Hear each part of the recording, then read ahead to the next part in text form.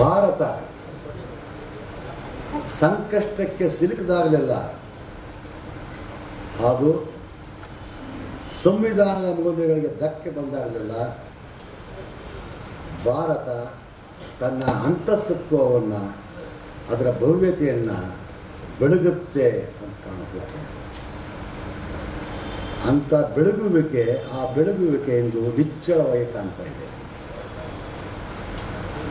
ಹೃದಯ ಮಿದುಳು ಒಟ್ ಹೃದಯ ಮಿದುಳು ಹೊಟ್ಟೆ ತುಂಬ ಗಣಿ ಲೂಟಿ ದುಡ್ಡನ್ನೇ ತುಂಬಿಕೊಂಡು ಆ ಮತದ ಸೋಮಶೇಖರ್ ರೆಡ್ಡಿ ಎಂಬ ಬಿ ಜೆ ಪಿ ಶಾಸಕ, ಸಿ ಎ ಎ ಮತ್ತು ಎನ್ ಆರ್ ಸಿ ವಿರೋಧಿಸುವವರಿಗೆ ನೀವು ಇಪ್ಪತ್ತು ವರ್ಷ, ಇಪ್ಪತ್ತು ಪರ್ಸೆಂಟ್ ಇದ್ದೀರಿ, ನಾವು ಎಂಬತ್ತು ಪರ್ಸೆಂಟ್ ಇದ್ದೀವಿ, ಜೋಕೆ ಎಂದು ಎಚ್ಚರಿಕೆ ಕೊಟ್ಟಾಗ ಅದಕ್ಕೆ ಭವ್ಯ ಎಂಬ ತರುಣಿ ಹೇಳೋದು ಏನಪ್ಪ ಅಂದರೆ, ರೆಡ್ಡಿ ನೆನಪಿರಲಿ. ಸಿ ಎ ಎ ಮತ್ತು ಎನ್ ಆರ್ ಸಿ ವಿರೋಧಿಸುವ ನಾವು ಭಾರತೀಯರು ನೈಂಟಿ ನೈನ್ ಪರ್ಸೆಂಟ್ ಇದ್ದಾವೆ, ತೊಂಬತ್ತೊಂಬತ್ತು ಪರ್ಸೆಂಟ್ ಇದ್ದಾವೆ.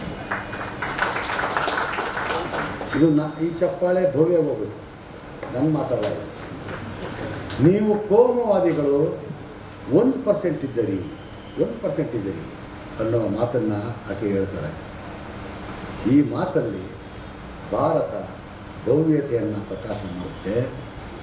ಇಂದು ಈ ಸಂಘರ್ಷ ನಡೆಯುತ್ತಿರುವುದು ninety nine percent we the people of India we the people of India versus ಒಂದು ಪರ್ಸೆಂಟ್ ಕೋಮುವಾದಿ ಗ್ಯಾಂಗ್ ನಡೆದಿದೆ ಹೀಗೆ ಭವ್ಯ ಥರನೇ ಉನ್ನತ ಅಧಿಕಾರಿಗಳಿಗಿದ್ದ ಸಸಿಕಾಂತ್ ಸೆಂಥಿಲ್ ಹಾಗೂ ಕಣ್ಣನ್ ಓ ಅಂತ ಸೆಂಥಿಲ್ ಬಂದರೆ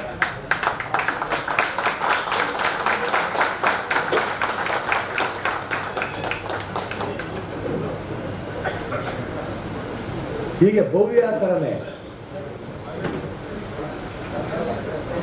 ಒಂದು ನಿಮಿಷ ಒಂದು ನಿಮಿಷ ದಯವಿಟ್ಟು ಒಂದು ನಿಮಿಷ ಹೀಗೆ ಭವ್ಯ ಆಚರಣೆ ಉನ್ನತ ಅಧಿಕಾರಿಗಳಾಗಿದ್ದ ಶಶಿಕಾಂತ್ ಸೆಂಥಿಲ್ ಹಾಗೂ ಕಣ್ಣನ್ ಗೋಪಿನಾಥ್ ನಡೆನುಡಿ ನೋಡಿದಾಗಲೂ ಕೂಡ ಭಾರತಕ್ಕೆ ಭವಿಷ್ಯವಿದೆ ಅನಿಸುತ್ತೆ. ಎಲ್ಲಕ್ಕಿಂತ ಮಿಗಿಲಾಗಿ ಸಂವಿಧಾನದ ಬಿಲಕ್ಕೆ ಬಿಲ ತೋಡಿ ತಿಂದು ಹಾಕುತ್ತಿದ್ದ ಇಲಿ ಯಜ್ಞನಗಳ ವಿರುದ್ಧವಾಗಿ ವಿದ್ಯಾರ್ಥಿ ಯುವಜನರ ಸ್ಫೋಟ ಇದೆಯಲ್ಲ ಇದನ್ನು ಕಂಡಾಗ ಈ ವಿದ್ಯಾರ್ಥಿ ಯುವಜನರ ನಾಯಕತ್ವಕ್ಕೆ ಭಾರತವನ್ನು ಕಾಪಾಡಬಹುದಾದ ಶಕ್ತಿ ಇದೆ ಅಂತ ಒಳಗೆ ನಮ್ಮ ಅಂತರಂಗಕ್ಕೆ ಅನಿಸುತ್ತೆ. ಇಂದು ದೇಶದ ತುಂಬ C A A, N R C, N P R ಭೀತಿ ತುಂಬಿದೆ. ಭೀತಿ, ಒಂಥರ ಭೀತಿ ಇದೆ. ಎಷ್ಟೆಂದರೆ ಇತ್ತೀಚೆಗೆ ಒಂದು ಘಟನೆ ಆಯಿತು ಚಾಮರಾಜನಗರದಲ್ಲಿ. ಆರೋಗ್ಯ ಮಾಹಿತಿ ಕಲೆಕ್ಟ್ ಮಾಡೋಕ್ಕೆ ಅಲ್ಲಿ ಅಧಿಕಾರಿಗಳು ಹೋಗ್ತಾರೆ ಚಾಮರಾಜನಗರಕ್ಕೆ. ಜನ ಏನಂದ್ಕೋತಾರೆ ಇದು C A A N R C N P R ಬಲೆ ಇರಬೇಕು, ಬಲೆ. ಹಾಕವ್ರೆ ಅಂತೇಳ್ಬಿಟ್ಟು ಆ ಗಣಿತಿ ಫಾರಮ್ಗಳನ್ನು ಅರಿದಷ್ಟು ಏನು ಮಾಹಿತಿ ಕೊಡದೆ ಹಿಂದಕ್ಕೆ ಕಳಿಸ್ತಾರೆ? ಇಷ್ಟೊಂದು ಭೀತಿ ತುಂಬಿದೆ. ಈಗ ನನಗೇನೆ, ನಾನು ಹುಟ್ಟಿದ ದಿನಾಂಕ ಕೇಳಿದ್ರೆ ಏನಪ್ಪ ಹೇಳೋಕ್ಕಾಗತ್ತೆ ನಾನು ಅಂದರೆ, ನನ್ನವ್ವ ಹೇಳ್ತಾರ ಅದು ಸೋಮವಾರ ಸಂಜೆ ರೈಲು ಕೌಲಂದೆ ಸ್ಟೇಷನ್ನಿಂದ ನಿಂತು ಹೊರಡುವ ಸಮಯ. ಹೀಗಿರುವಾಗ ದಿನಾಂಕನ ಹೆಂಗೆ ಹೇಳಲಿ ನನ್ನ ಮೊಮ್ಮಗಳಿಗೆ ನನಗೆ ಹುಟ್ಟಿದ ದಿನಾಂಕ ಇಲ್ಲ ಅಂತ ಗೊತ್ತಾಗ್ಬಿಟ್ಟು ಅವಳು ಭಾಳ ಬೇಜಾರು ಮಾಡ್ಕೊಂಡು, ನನ್ನ ಹುಟ್ಟದ ದಿನವೇ, ನಿನ್ನ ಹುಟ್ಟಿದ ದಿನ ಅಂತ ಹೇಳಿದ್ಲು ಸಮಾಧಾನ ಮಾಡಿದ್ನು ನನಗೇ ಹೀಗಿರುವಾಗ ನನ್ನ ಅಪ್ಪನ ದಿನಾಂಕ ಕೇಳಿದ್ರೆ ನನಗೇನಂತ ಹೇಳಿ? ಇರುವುದನ್ನು ಹೇಳಿದ್ರೆ ಈ ಥರಪ್ಪ ನಮ್ಮದು ಅಂತ ಹೇಳಿದ್ರೆ ನಾನು ಅನುಮಾನಾಸ್ಪದ ವ್ಯಕ್ತಿ ಆಗ್ತೀನಿ ಡಿ, ಡೌಟ್ಫುಲ್ ಸಿಟಿಜನ್ ಆಗ್ತೀನಿ. ಏನು ಹೇಳಿದೆ ನಾನು? ಮೋದಿಯವರ ಅಪ್ಪ ಹುಟ್ಟೋದಕ್ಕೂ ಮೊದಲು ಐದು ವರ್ಷ ನಮ್ಮ ಅಪ್ಪ ಹುಟ್ಟಿದ್ದ ಅಂತ ಹೇಳಿದೆ. ಅಥವಾ ಅಮಿತ್ ಶಾರ ಅಪ್ಪ ಹುಟ್ಟುವ ಮೊದಲು, ಇಪ್ಪತ್ತು ವರ್ಷಕ್ಕೂ ಮೊದಲು ನಮ್ಮ ಅಪ್ಪ ಹುಟ್ಟಿದ್ದ ಅಂತ ಹೇಳಿದೆ. ಬಹುಶಃ ನನ್ನ ಮೂಲ ಇರೋದು ಹರಪ್ಪ ಮಹಂಜೋದಾರದಲ್ಲಿ. ನನ್ನ ಮೂಲ ಇರೋದು. ಅದು ಇವತ್ತು ಪಾಕಿಸ್ತಾನದಲ್ಲಿದೆ. ನಾನು ಏನು ಮಾಡಲಿ? ಈಗ ಮೊದಲು ಎನ್ ಪಿ ಆರ್ ಅನ್ನೋ ಬಲೆ ಹಾಕ್ತಾರೆ. ಸುಮ್ಮನೆ ಗಡ್ತಿಯಪ್ಪ ಪೌರರ್ಗರ ಮನೆ ರಿಜಿಸ್ಟ್ರೇಷನ್ ಅಂತ. ಇದರ ಇದರ ಆದ್- ಆಧಾರದ ಮೇಲೆ ಎನ್ ಆರ್ ಸಿ ಅಳವಡಿಸ್ತಾರೆ. ತಮಗೆ ಬೇಡದವ್ರನ್ನ ಅನುಮಾ ಅನುಮಾನಾಸ್ಪದ ವ್ಯಕ್ತಿ ಅಂತ ಗುರುತಿಸ್ತಾರೆ. ಆಮೇಲೆ ಕಾ ಎಂಬ ಯಮಪಾಸವನ್ನು ಹಾಕ್ತಾರೆ. ಇದನ್ನು ಐತಿಹಾಸಿಕ ಐತಿಹಾಸಿಕ ಅಂತ ಹೇಳ್ತಾ ಇದ್ದಾರೆ. ಇದು ವಿಪರ್ಯಾಸ ಇಂಥದ್ದನ್ನೆಲ್ಲ ಮಾಡೋಕ್ಕೆ ಮೊದಲು, ಈ ಥರ ಮಾಡೋಕ್ಕೆ ಹೊರಟ್ರಲ್ಲ. ಅವರು ಹೇಗೆ ಮಣ್ಣು ಮುಕ್ಕಿದ್ರು ಅನ್ನೋದನ್ನು ನಾವು ಅಕ್ಕಪಕ್ಕ ನೋಡಿ ಆದರೂ ಕಲಿಬೇಕಾಗಿತ್ತು.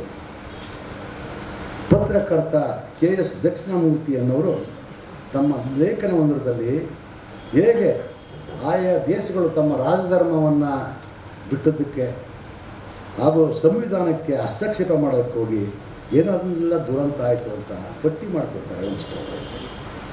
ಸಾವಿರದ ಒಂಬೈನೂರ ಐವತ್ತಾರಲ್ಲಿ ಶ್ರೀಲಂಕಾದವರಿಗೆ, ಶ್ರೀಲಂಕಾದಲ್ಲಿ ಸಿಂಹಳದವ್ರಿಗೇ ಸಿಂಹಳ ಮಾತ್ರ ಅಂತ ಮಾಡೋಕ್ಕೋಗಿ ಅದು ಎಲ್ ಟಿ ಟಿ ಐ ಊಟಕ್ಕೆ ಕಾರಣ ಆಯಿತು. ಧ್ವಂಸ, ಹಿಂಸೆ, ಸಾವು, ನೋವು ಕೊನೆಗೆ ರಾಜೀವ್ ಗಾಂಧಿಯವರನ್ನು ಬಳಿ ಅದು. ರುವಾಂಡದಲ್ಲಿ ಅಲ್ಪಸಂಖ್ಯಾತ ಟುಟ್ಸಿ ಮತ್ತು ಬಹುಸಂಖ್ಯಾತ ಹುಟುಗಳು ಹುಟು ಹುಟು ಅಂತಾರೆ. ಮಧ್ಯ ಸರ್ಕಾರವೇ ಬತ್ತಿಡುತ್ತೆ ಐ ಡಿ ಕಾರ್ಡ್ ಕಡ್ಡಾಯ ಮಾಡ್ತಾರೆ ಕೇವಲ ನೂರು ದಿನಗಳಲ್ಲಿ ಎಂಟು ಲಕ್ಷ ಜನ ಹತರಾಗ್ತಾರೆ. ನೂರು ದಿನದಲ್ಲಿ ಎಂಟು ಲಕ್ಷ ಜನ. ಸಾಯೋರು ಒಂದೇ ಗುಂಪಿಗೆ ಸೇರಿದವ್ರು ಸಾಯಲ್ಲ. ಮತ್ತು ಸಾಯೋರಲ್ಲಿ ಅಮಾಯಕರೇ ಹೆಚ್ಚು. ಇದನ್ನೀಗ ಭಾರತ ಸರ್ಕಾರ ಮಾಡಕ್ಕೆ ಹೊರಟಿದೆ ಇವನ್ ಪಾಕಿಸ್ತಾನದಲ್ಲೂ ಕೂಡ ಉರ್ದು ಭಾಷೆ ಮತ್ತು ಲಿಪಿಯನ್ನು ಬೆಂಗಾಲಿ ಮುಸ್ಲಿಮರ ಪಶ್ಚಿಮ ಬಂಗಾಳ ಇತ್ತಲ್ಲ, ಪಶ್ಚಿಮ ಪಾಕಿಸ್ತಾನ ಇತ್ತಲ್ಲ ಅವಾಗ. ಬೆಂಗಾಲಿ ಮುಸ್ಲಿಮರ ಮೇಲೆ ಹೇರಕ್ಕೋಗಿ ಇಡೀ ರಾಷ್ಟ್ರವೇ ಎರಡು ಭಾಗ ಆಯಿತು.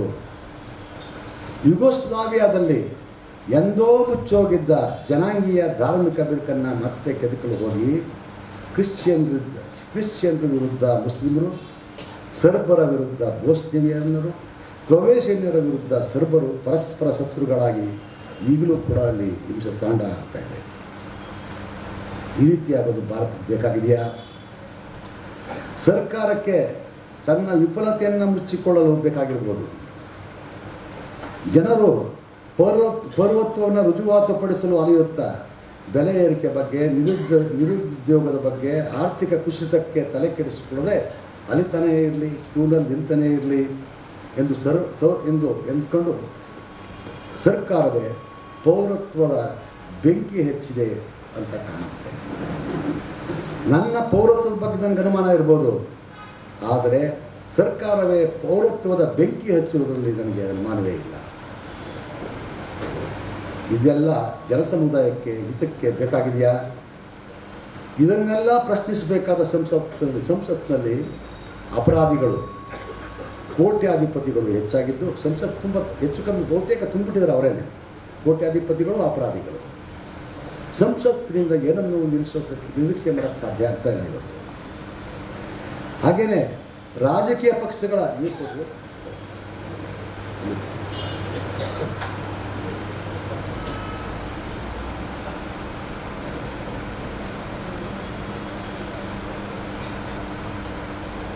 ಹಾಗೆಯೇ ರಾಜಕೀಯ ಪಕ್ಷಗಳ ಸ್ಥಿತಿಗತಿಯು ಕೂಡ ದಯಾನೀಯವಾಗಿದೆ. ಎಲ್ಲ ರಾಜಕೀಯ ಪಕ್ಷಗಳು. ಕಮ್ಯುನಿಸ್ಟರು ಸ್ಥಗಿತ ಆಗಿದ್ದಾರೆ ಆಮ್ ಆದ್ಮಿ ಸ್ವ ಸ್ವರಾಜ್ ಇಂಡಿಯಾದಂಥ ಪ್ರಯೋಗಶೀಲ ಪಕ್ಷಗಳು ವ್ಯಾಪಕ ಆಗ್ತಾ ಇಲ್ಲ. ಮೋದಿ ಶಾ ಆಡಳಿತ ಕಾಂಗ್ರೆಸ್ ಮತ್ತು ಇನ್ನಿತರ ಪಕ್ಷಗಳನ್ನು ತೆವಳುವಂತೆ ಮಾಡಿಬಿಟ್ಟಿದೆ. ಆದರೆ ದುರಂತ ಏನು ಗೊತ್ತಾ?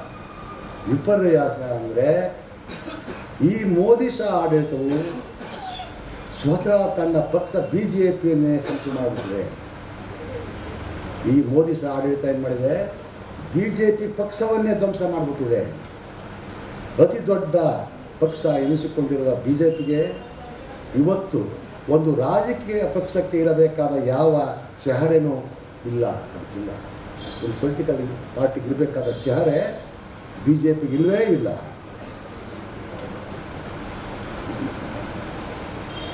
ಜೀವ ಇಲ್ಲದ ಸತ್ತ ದೇಹದಂತೆ ಇದೆ ಬಿ ಜೆ ಪಿ ಇವತ್ತು. ಬಿ ಜೆ ಪಿ ಪಕ್ಷದ ಹೆಸರಿನಲ್ಲಿ ಮೋದಿ ಶಾ ಗ್ಯಾಂಗ್ ಆಡಳಿತ ನಡೆಸ್ತಾ ಈ ಸಂದರ್ಭದಲ್ಲಿ ಡಾಕ್ಟರ್ ಅಂಬೇಡ್ಕರ್ ಅವರು ಸಂವಿಧಾನದ ಸಭೆಯಲ್ಲಿ ಜಾತಿ, ಮತ ಭೇದದ ಕಾರಣವಾಗಿ ಭಾರತ ಹೇಗೆ ಗುಲಾಮಗಿರಿಗೆ ತುತ್ತಾಯಿತು ಎಂದು ಎಂಬ ಸಂಗತಿಗಳನ್ನು ವಿವರಿಸಿ ವಿವರಿಸಿ ಹೇಳ್ತಾ ಒಂದು ಎಚ್ಚರಿಕೆಯ ಮಾತನ್ನು ಹೇಳ್ತಾರೆ. ಆ ಮಾತುಗಳು ಏನಪ್ಪ ಅಂತಂದರೆ, ಚರಿತ್ರೆ ಮತ್ತೆ ಮರೆಕಳಿಸುತ್ತದೆಯೇ? ಈ ಯೋಚನೆ ನನ್ನಲ್ಲಿ ಆತಂಕ ಮೂಡಿಸುತ್ತದೆ. ಇದು ಅಂಬೇಡ್ಕರ್ ಮಾತು. ನಮಗೆ ಈಗಾಗಲೇ ಇದ್ದ ಹಳೆಯ ಶತ್ರುಗಳಾದ ಜಾತಿ, ಧರ್ಮಗಳ ಜೊತೆಗೆ ವಿಭಿನ್ನ ಮತ್ತು ವಿರೋಧಿ ರಾಜಕೀಯ ಸಿದ್ಧಾಂತಗಳ ಹಲವು ರಾಜಕೀಯ ಪಕ್ಷಗಳು ಸೇರಿಕೊಳ್ಳುತ್ತವೆ.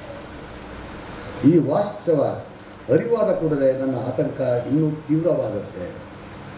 ಭಾರತೀಯರು, ದೇಶವನ್ನು ತಮ್ಮ ಮತಧರ್ಮಗಳಿಗಿಂತ ಮುಖ್ಯವೆಂದು ಭಾವಿಸುತ್ತಾರೋ, ಅಥವಾ ಅವರಿಗೆ ತಮ್ಮ ದೇಶಕ್ಕಿಂತ ತಮ್ಮ ಮತಧರ್ಮಗಳೇ ಹೆಚ್ಚು ಮುಖ್ಯ ಅನಿಸುತ್ತೋ, ನನಗೆ ಗೊತ್ತಾಯ್ತಾ ಇಲ್ಲ. ಆದರೆ ಇಷ್ಟಂತೂ ಖಚಿತ. ರಾಜಕೀಯ ಪಕ್ಷಗಳು ಜಾತಿ ಧರ್ಮವನ್ನೇ ದೇಶಕ್ಕಿಂತ ಮುಖ್ಯ ಎಂದು ಭಾವಿಸಿದರೆ, ನಮ್ಮ ಸ್ವಾತಂತ್ರ್ಯಕ್ಕೆ ಎರಡನೆಯ ಬಾರಿ ಗಂಡಾಂತರ ಬಂದಂತೆ ಬಂದಂತೆ ಆಗುತ್ತೆ. ಹಾಗೇನಾದ್ರು ಆದರೆ ಬಹುಶಃ ಸ್ವಾತಂತ್ರ್ಯ ಅನ್ನೋದು ನಮಗೆ ಮತ್ತೆ ಸಿಗೋದಿಲ್ಲ. ಅದನ್ನು ಶಾಶ್ವತವಾಗಿ ಕಳೆದುಕೊಂಡು ಬಿಡ್ತೇವೆ. ಇದರ ವಿರುದ್ಧ ನಾವೆಲ್ಲರೂ ಅಚಲವಾಗಿ ನಿಲ್ಲಬೇಕು. ನಮ್ಮಲ್ಲಿ ಕೊನೆಯ ಹನಿ ರಕ್ತ ಇರುವವರಿಗೆ ನಮ್ಮ ಸ್ವಾತಂತ್ರ್ಯವನ್ನು ಉಳಿಸಿಕೊಳ್ಳುವ ದೃಢ ಸಂಕಲ್ಪ ಮಾಡಬೇಕು. ಇದು ಅಂಬೇಡ್ಕರ್ ಮಾತುಗಳು. ಈ ಕಾಲ ಇವಾಗ ಬಂದಿದೆ. ಭಾರತದ ಪೌರತ್ವ ನಿರ್ಧಾರಕ್ಕೆ ಮತಧರ್ಮಗಳನ್ನು ಪರಿಗಣಿಸಿ ಭಾರತದ ಪೌರ, ಪೌರತ್ವವನ್ನು ಡಿಸೈಡ್ ಮಾಡೋಕ್ಕೆ ಮತಧರ್ಮಗಳನ್ನು ಪರಿಗಣಿಸಿ ಸಂವಿಧಾನದ ಮೌಲ್ಯಕ್ಕೆ ಬಿಲ ತೋಡಿ ತನ್ನ ತಾನೇ ಸಂವಿಧಾನದ ಆಸೆಗಳು ಕುಸಿಯುವಂತೆ ಈಗ ಮಾಡಲಾಗ್ತಾ ಇದೆ. ಈ ಕಾ ಇನ್ನೊಂದು ಮತ್ತೊಂದು ಮಗುವಿನಿಂದ ಇಂದು ಭಾರತ ಎರಡನೆಯ ಸ್ವಾತಂತ್ರ್ಯಕ್ಕಾಗಿ ಯಾಚಿಸ್ತಾ ಇದೆ. ಕೊನೆಯದಾಗಿ ಸ್ನೇಹಿತರೆ ಇಷ್ಟಿದ್ದೂ ಈಗಿದ್ದರೂ ಕೂಡ ಆದರೂ ಮೋದಿಯವರಿಗೆ ಒಂದು ಪ್ರಾರ್ಥನೆ ಮಾಡ್ತೀನಿ. ಏನಪ್ಪ ಅಂದರೆ ಲಕ್ಷ್ಮೀನಾರಾಯಣ್, ಒಂದು ಮೋದಿಯವ್ರಿಗೊಂದು ಪ್ರಾರ್ಥನೆ ಮಾಡ್ತಾ ಇದ್ದೀನಿ ಕೇಳಿಸ್ಕೊಳ್ಬಿಡ್ತೀನಿ ನಾನೀಗ ಒಂದು ಮೋದಿಯವ್ರಿಗೆ ಒಂದು ಪ್ರಾರ್ಥನೆ ಮಾಡ್ತಾ ಇದ್ದೀನಿ. ತಾವು ಕೇಳಿಸ್ಕೊಳ್ಬೇಕು ನಿಮ್ಮ ಕಣ್ಗಳ ಕೆಳಗೆ ನಡೆದ ಜೆ ಎನ್ ಯು ಘಟನೆಯನ್ನು ನೋಡಿ ನಾನು ತತ್ತರಿಸಿ ಹೋದೆ. ಗುಂಪು ತಳಿತ ನೋಡಿದಾಗಲೂ ಈ ದೇಶದಲ್ಲಿ ರಾಜನಿಲ್ಲ. ಅಂದರೆ ರೂ ರೂರಲ್ ಇಲ್ಲ ಅರಾಜಕತೆ ಇದೆ ಅನಿಸುತ್ತೆ. ಪೊಲೀಸ್ ವ್ಯವಸ್ಥೆಯೇ ಕಳಂಕಿತವಾಗಿ ಬಿಟ್ಟಿತ್ತು. ಇನ್ನು ಮಿಲಿಟ್ರಿ ಕತೆ ಏನೋ ಎತ್ತೋ ಗೊತ್ತಿಲ್ಲ.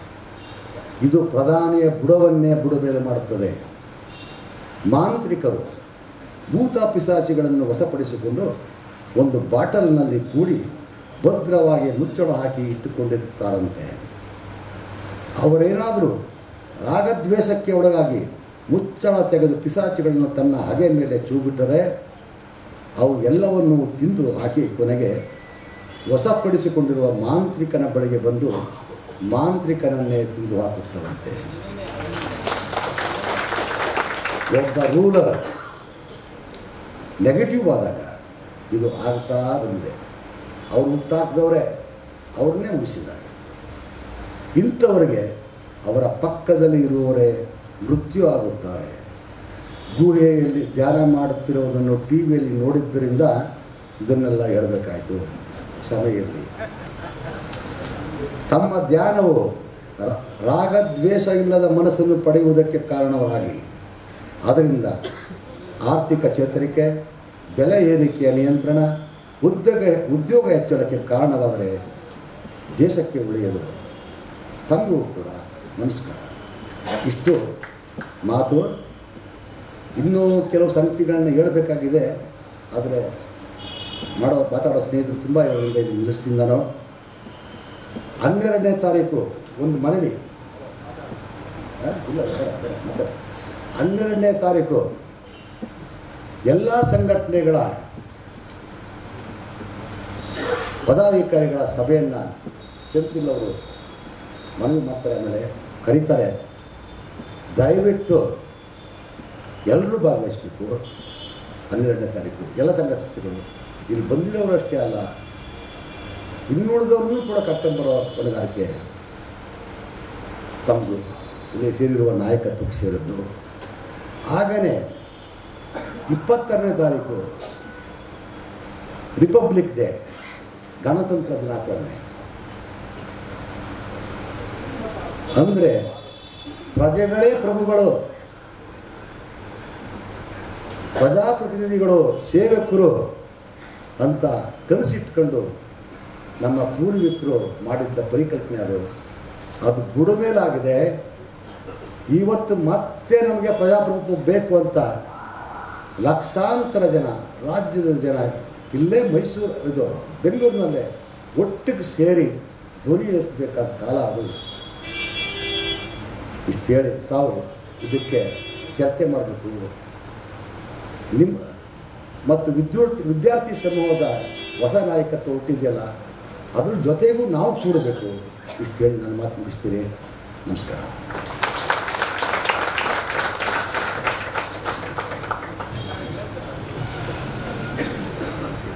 ದೇವರ ಮಾಧ್ಯಮರ ವಂದನೆಗಳು. ಪೌರತ್ವ ಮತ್ತು ವಲಸೆ ನೀತಿಯನ್ನು ಕುರಿತಂತೆ ಶಶಿಕಾಂತ್ ಸೆಂಥಿಲ್ ಅವರು ಮಾತಾಡಬೇಕಂತ ಕೇಳ್ಕೊಳ್ತೀನಿ.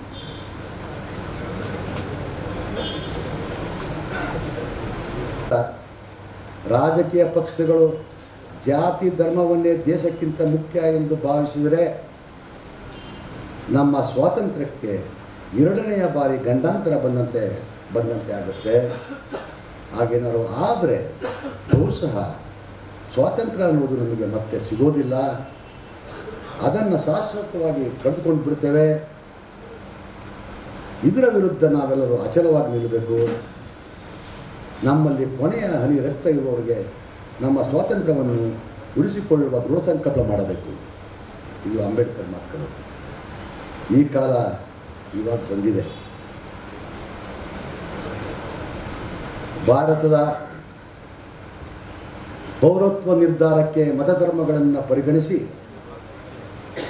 ಭಾರತದ ಪೌರ, ಪೌರತ್ವವನ್ನು ಡಿಸೈಡ್ ಮಾಡೋಕ್ಕೆ ಮತಧರ್ಮಗಳನ್ನು ಪರಿಗಣಿಸಿ ಸಂವಿಧಾನದ ಮೌಲ್ಯಕ್ಕೆ ಬಿಲ ತೋಡಿ ತನ್ನ ತಾನೇ ಸಂವಿಧಾನದ ಆಸೆಗಳು ಕುಸಿಯುವಂತೆ ಈಗ ಮಾಡಲಾಗ್ತಾ ಇದೆ. ಈ ಕಾ ಇನ್ನೊಂದು ಮತ್ತೊಂದು ಮರದಿಂದ ಇಂದು ಭಾರತ ಎರಡನೆಯ ಸ್ವಾತಂತ್ರ್ಯಕ್ಕಾಗಿ ಯಾಚಿಸ್ತಾ ಇದೆ. ಕೊನೆಯದಾಗಿ ಸ್ನೇಹಿತರೆ ಇಷ್ಟಿದ್ದೂ ಈಗಿದ್ದರೂ ಕೂಡ, ಆದರೂ ಮೋದಿಯವರಿಗೆ ಒಂದು ಪ್ರಾರ್ಥನೆ ಮಾಡ್ತೀನಿ.